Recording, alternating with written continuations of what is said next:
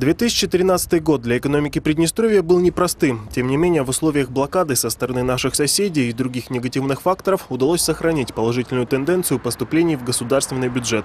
Если в 2011 году доходы составляли почти 304,5 миллиона долларов, то уже в 2013 эта сумма стала на 105 миллионов больше. В результате предпринятых мер по совершенствованию администрирования внешнеэкономической деятельности наблюдается внушительный рост таможенных платежей в бюджет республики что говорит о позитивной продолжающейся тенденции выхода и вывода экономики из серой зоны. Отмечу, что в 2013 году наблюдается значительный рост налоговых поступлений. Общая сумма налоговых поступлений в 2013 году составила свыше 343 миллиона долларов США и возросла по сравнению с 2012 годом на 14,6%, с 11 на 43%. Тем не менее, расходы государственного бюджета превышают его доходную часть. При этом дефицит за три года сократился более чем на 60 миллионов долларов.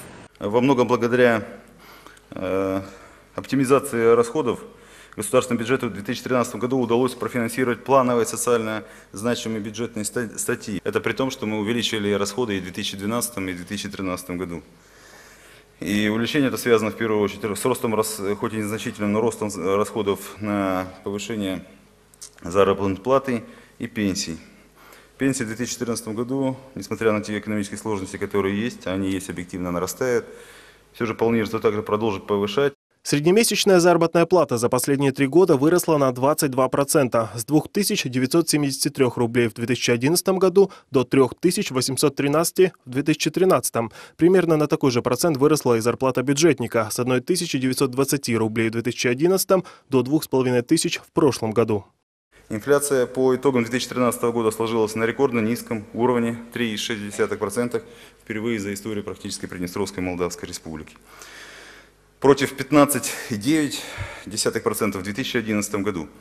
Во многом это связано со стабильностью курса рубля, так и с мягкой тарифной политикой для населения. Цены на газ и электроэнергию в пределах социальной нормы в 2012-2013 году сохранялись практически на уровне стабильном.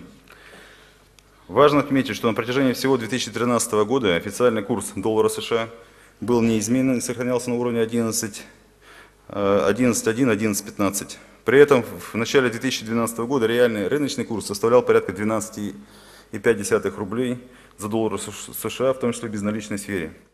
Если не брать во внимание показатели трех энергоемких предприятий ММЗ, РЦК и Молдавская ГРЭС, то в 2013 году объем производства вырос более чем на 16%. Увеличились инвестиции почти на 25 миллионов долларов. Поддержка предприятия продолжается и на государственном уровне. Государство продолжает осуществлять существенную финансовую поддержку, предоставляет тарифы ниже рыночных, данным предприятиям. Сумма поддержки только по трем бюджетообразующим предприятиям ЗАО ГРЭС, Молдавский металлургический завод и ЗАО РЦШК только в 2013 году составила примерно 100 миллионов долларов. За январь-февраль тоже сумма составляет 31 миллион. Несмотря на позитивные тенденции в некоторых отраслях, президент отметил, что экономика Приднестровья зависима от внешних факторов, поэтому республика должна быть готова к новым вызовам.